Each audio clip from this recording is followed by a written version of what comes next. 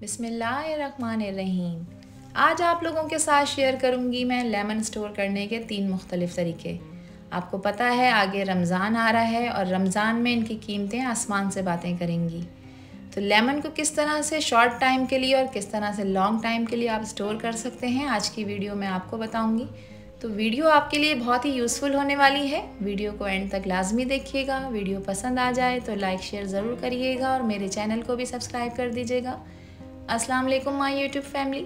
कैसे हैं आप लोग? खुश रहें, आबाद रहें, जहाँ भी रहें, हँसते मुस्कुराते रहें। मैं हूँ हादिया और वेलकम करती हूँ आप लोगों को कुकिंग सीक्रेट्स विद हादिया में। तो चलें, आज की ये मज़ेदार सी वीडियो स्टार्ट कर लेते हैं। तो सबसे पहले मैं आपके साथ मेथड नंबर वन शेयर करूँगी, जिसके लिए मैंने यहाँ पर लेमन्स लिए हैं, जो कि वन के जी हैं, यानी वज़न में एक किलो हैं। और मैंने इनको अच्छी तरह से धो के साफ़ कर लिया है ताकि इनके ऊपर कोई धूल मिट्टी कोई धुआँ कोई गंदगी लगी हुई हो तो वो अच्छी तरह से साफ़ हो जाए।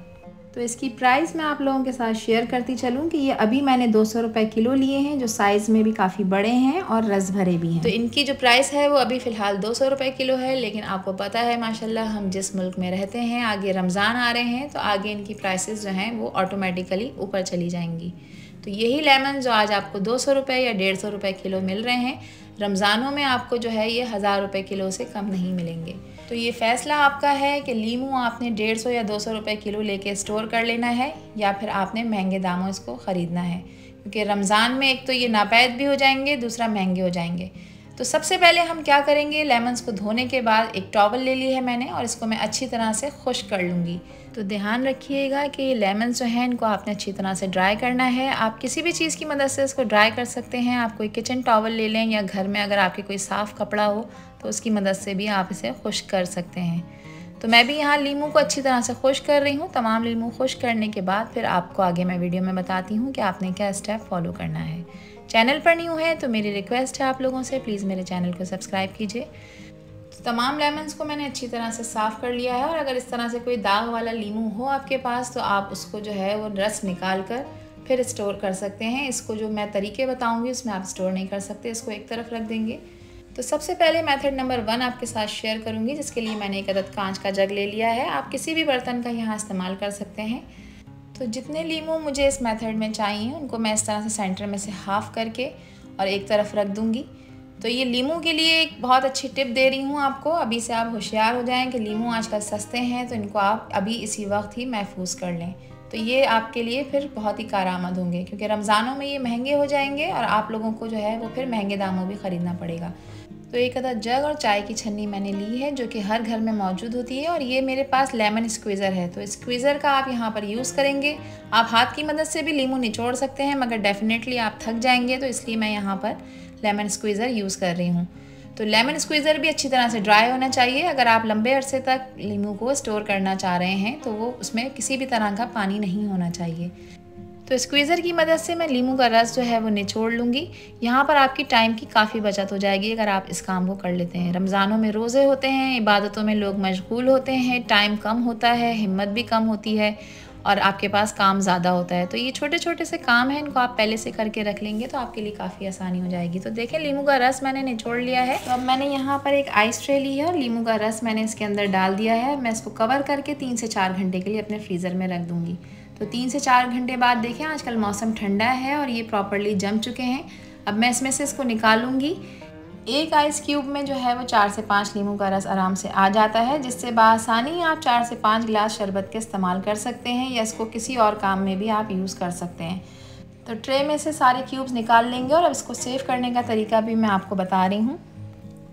लीमू का रस निकला हुआ होता है तो आपके घर के कामों में आपको काफ़ी आसानी हो जाती है। लीमू का शरबत बनता है अफ्तार में, या आप खाने की किसी चीज़ में भी इसको इस्तेमाल करना चाहती हैं तो आपने जस्ट एक आइस क्यूब निकाला और आपने इसको उसमें इस्तेमाल कर लिया। तो यहाँ पर देखें एक अदर जिबलॉक बैग है, ये भी इजली अवेलेबल होते हैं मार्केट में और कॉस्ट में भी कम पड़ते हैं। तो ये तमाम जो क्यूब्स हैं, वो मैं इसके अंदर डाल दूँगी। तो इस तरह से जिप ब्लॉक बैग में आपने इनको स्टोर कर लेना है। जिप ब्लॉक बैग में स्टोर करने से एक तो ये बर्फ़ और दूसरी चीज़ों से सेफ़ रहते हैं, दूसरा इसमें किसी भी तरह की कोई स्मेल नहीं होती और आपको पता है कि ये फ्रीज़र में स्पेस भी कम लेते हैं।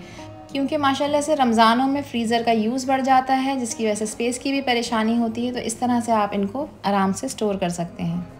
तो इस मेथड को फॉलो करते हुए आप आराम से आइस क्यूब्स को एक से दो माह के लिए स्टोर कर सकती हैं। इनको अब मैं फ्रीज़र में रखती हूँ ताकि मेल्ट ना हो और अब मेथड नंबर टू की तरफ़ चलते हैं जिसके लिए यहाँ पर मैंने लिया है सरसों का ऑयल।